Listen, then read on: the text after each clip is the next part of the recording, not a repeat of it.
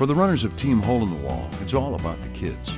Whether it's a marathon or a local 5K, Team Hole in the Wall runners are pushing themselves to the limit to help children with life-threatening illnesses experience the joy and wonder of a Hole in the Wall camp. Over 20 years ago, Paul Newman built the first Hole in the Wall Gang camp. Since then, thousands of seriously ill children in camps around the world have been given the chance, as Paul liked to say, to raise a little hell. But these are families whose lives have been turned upside down. Their children spend long days or even months in the hospital, often in isolation from their friends, school, and social activities. Their illness is simply robbing them of a normal childhood. They deserve a safe place where they can have some real fun, be taken care of, and fit right in, no matter what their ailment.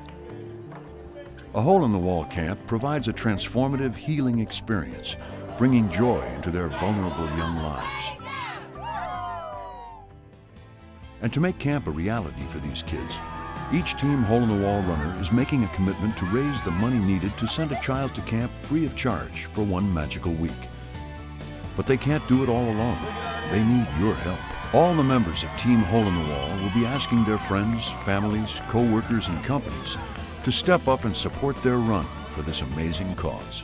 Please do what you can for the kids by getting behind your Team Hole in the Wall friends.